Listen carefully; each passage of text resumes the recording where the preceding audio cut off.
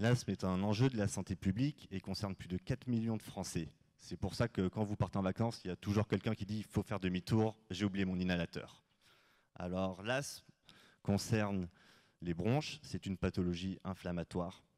Les bronches sont le tube qui relie l'air et l'amène au poumon.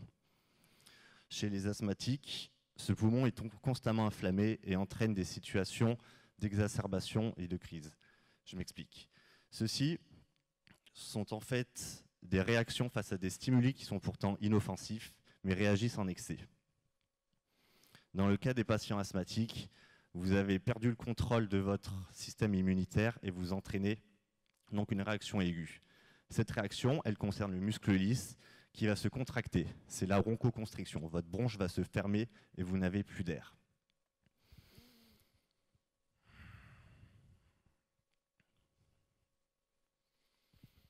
Dans le cas de la...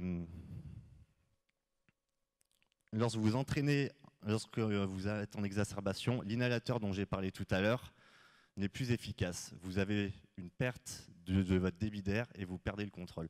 Vous avez besoin d'une hospitalisation. Bien souvent, lorsque vous êtes hospitalisé et les batteries de tests vont révéler que vous avez une infection de vos tissus bronchiques par le rhinovirus, le vecteur du rhume. En plus, des études ont montré que lorsque vous êtes enrhumé régulièrement quand vous êtes enfant, vous développez plus fréquemment de l'asthme à l'âge adulte.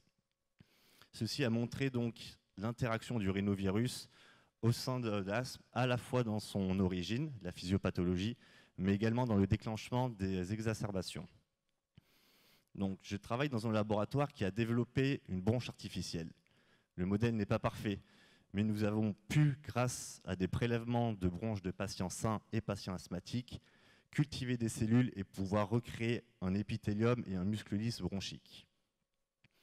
Donc, une fois que nous avons établi et cultivé et fait maturer ces cellules, je peux ensuite infecter ce modèle avec mon rhinovirus. J'observe et j'étudie ensuite les réponses au niveau cellulaire, la prolifération, mais aussi la migration. Je regarde également au niveau moléculaire, avec des techniques qui nous permettent d'étudier l'ADN et comment celui-ci est modifié, et son expression. Et j'essaye de faire tout ça sans m'enrhumer moi-même. Ceci, l'objectif de ma thèse est donc double, essayer de comprendre comment le rhinovirus agit sur les origines de l'asthme, mais aussi sur les déclenchements de l'asthme, sur les déclenchements des exacerbations asthmatiques. Et si vous vous posez la question, non, je ne travaille pas sur un virus qui a un nom de bière en ce moment, et ça ne m'intéresse pas. Je vous remercie.